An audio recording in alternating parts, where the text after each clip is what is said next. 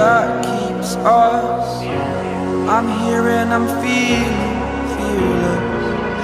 exaggerated, that's what you assume. The story's over now, I must conclude.